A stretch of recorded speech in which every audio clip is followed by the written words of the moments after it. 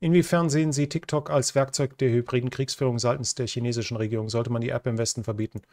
Das Problem ist immer mit Verboten, aber TikTok, der, das Problem ist ein Unternehmen, das ein chinesisches.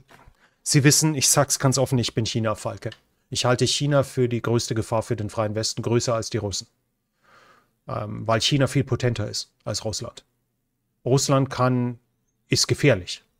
Aber das ist, Russland ist, ich weiß nicht, wie ist der Wolf verglichen mit dem Bären oder so. Der Wolf ist ein gefährliches Tier, ein böser Wolf. Aber ein Grizzlybär ist noch eine ganz andere Hausnummer. Deswegen sollte man den Wolf nicht kleinreden. Wenn wir jetzt mal bei Tieranalogie bleiben. Äh, TikTok ist ganz wesentlich mitverantwortlich in den aktuellen, für die Jugend ist, hängen die teilweise stundenlang jeden Tag davor. Ich selber habe Videos gesehen, die pure Propaganda waren, pure Lügen zum Beispiel in Jordanier, äh, über eine Million Follower, der ein Video gemacht hat, wo er erklärt hat, in diesem Krankenhaus im Gazastreifen hätten die Israelis 1000 Menschen getötet. 1000. Selbst die Hamas hat nur von 800 gesprochen. Er hat es einfach zu 1000 aufgerundet. Später kam raus, dass es, glaube ich, 100 waren oder sogar unter 100 und dass es aller Wahrscheinlichkeit nach eine Rakete des islamischen Dschihad war. Dieses Video ist wahrscheinlich heute noch online. Wie viele haben sich das angesehen, haben den Kontext nicht betrachtet, haben nie die Wahrheit erfahren und haben damit, wurden damit aufgebracht. Der Umstand, dass die Jugend, die leicht beeinflussbar ist, deswegen hat, haben sich ja Diktaturen auch immer auf sie gestürzt, dass die an dieser App hängt und die App dort völlig dominiert und der Algorithmus von den Chinesen kontrolliert wird, ist eine unfassbare Gefahr. Sollte man es verbieten, ich würde wahrscheinlich für Ja tendieren. Und das trotz meiner politischen Einstellung. Generell sehe ich in Algorithmen eine riesige Gefahr, gleichzeitig aber auch ein riesiges Problem. Denn das ist ja nicht nur darauf beschränkt. Das geht bei Twitter, bei Facebook und so weiter ähnlich. Dort sitzen halt die Firmen im Westen und man hat theoretisch die Möglichkeit, juristisch gegen sie ein Stück weit vorzugehen und sie zu kontrollieren. Aber ich habe es oft genug gesagt. Nehmen wir jetzt den Wahlkampf der USA, der entscheidend für die Welt sein wird. Wie immer halt. Das ist jeder US-Wahlkampf, wenn wir so wollen. Nehmen wir an, wie Sie sind jetzt die chinesische Regierung. Sie wollen wahrscheinlich Trump verhindern.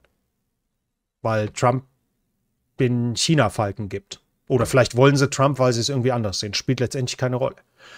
Mit dem Algorithmus weiß die App ja, wie sie politisch stehen. Da brauchen sie sie nur zwei Wochen zu benutzen. Dann kriegt die App mit, dass sie eher rechts der Mitte sind, eher links der Mitte, eher pro Immigration, eher kontra Immigration. Das bekommt die App ja sehr, sehr schnell mit. Ab dann kann ihnen gefüttert werden, das, was sie in die Richtung wollen. Es gibt viele, die sind rechts der Mitte, mögen aber Trump nicht. Das heißt, sie werden an sich Republikaner-Wähler, aber haben mit Trump ein Problem. Wenn ich nicht will, dass die zur Wahl gehe, spiele ich denen ausschließlich Videos vor oder Informationen. Jetzt gehen wir Facebook, Instagram, Twitter und so weiter. Ich spüle per Algorithmus ihnen ausschließlich die Informationen vor, die Trump schlecht dastehen lassen, die, die Trump als, als furchtbar dastehen lassen. Es wird schon auch irgendwo ein paar, ich weiß, ich, ich, ähm, Trump, über Trump kann man sehr viel Schlechtes sagen, aber ich vermute mal, hier und dort wird auch mal ein positiver Artikel über ihn geschrieben werden. Wenn ich jetzt weiß, das ist ein Republikaner, dann kann ich dem die ganze Zeit nur schlechte Presse über Trump vorsetzen, dann geht er vielleicht nicht zur Wahl, weil er sagt, ich kann diesen doch nicht wählen. Wenn ich ihn aber zur Wahl veranlassen will und er, ist, er mag Trump nicht, dann schicke ich ihm die ganze Zeit Nachrichten, die zeigt, wie furchtbar Kamala Harris ist und wie die das Land kaputt machen wird, sodass er sagt, naja, da muss ich lieber Trump wählen. Ich mag ihn zwar nicht, ich finde ihn furchtbar, er ist schrecklich, aber bevor Kamala Harris. Und ja, da sehen Sie an diesem harmlosen Beispiel, wie sehr ein solches, so ein, so ein Unternehmen inzwischen die Wahl beeinflussen kann.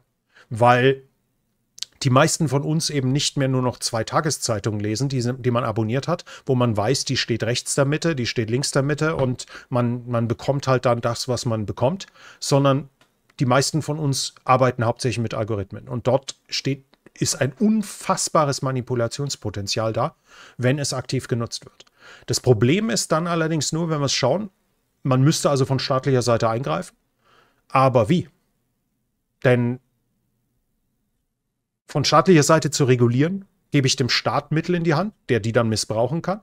Und wenn ich das Offenlegen des Algorithmus verlange, der Algorithmus ist bei diesen Unternehmen normalerweise das Geschäftsgeheimnis. Das ist das, was die besonders macht. Wenn, wenn Google zum Beispiel gab es Berichte, ich habe es selber überprüft, ich konnte es nicht bestätigen, aber dass, wenn man nach Donald Trump sucht, man nur Kamala Harris Artikel bekommt. Dass also Google verschweigt, dass Trump überhaupt, dass, dass einer, der nach Trump sucht, nur pro, pro Kamala Harris bekommt. Ähm, wenn sowas, sowas tatsächlich stattfindet, wie gesagt, ich habe es angeschaut und konnte es nicht verifizieren, aber es mag an meinem Standort liegen, völlig egal. Wenn sowas ist, dann könnte man eingreifen. Aber wenn ich den Algorithmus offenlege, der ist das, was Google ausmacht, dann, dann greife ich deren, deren wirtschaftliches Standbein an. Und das ist ein riesen, Riesenproblem, eine Riesengefahr und ein Riesenkonflikt, den ich so einfach Ihnen nicht beantworten kann. Vor allem, weil halt dann auch noch meine politische Überzeugung mit reinspielt, die halt den Staat in einer möglichst kleinen Rolle sehen will, in einer möglichst wenig regulierenden Rolle. Aber ich sehe die Gefahr. Und ähm, eine totalitäre Diktatur, die keinerlei moralische Hemmnisse hat. Und das ist mit China der Fall.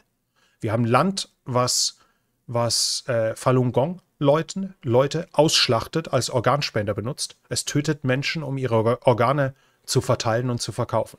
Wir haben ein Land, was Muslime in Umerziehungscamps steckt, steckt, wo sie gezwungen werden, Schwein zu essen, wo sie gezwungen werden, den Koran zu verleugnen, wo sie gezwungen werden, den, äh, die Mao-Bibel auf ein Niveau höher als den Koran zu erheben. Äh, ein solches Land, dem solche Macht über uns und über unsere Jugend zu geben, ist, ist brandgefährlich. Wenn Ihnen das Video gefallen hat, dann schauen Sie doch mal vorbei auf dem Hauptkanal, wo es ursprünglich erschienen ist. Militär und Geschichte mit Thorsten Heinrich. Den Link dazu finden Sie hier in der Beschreibung.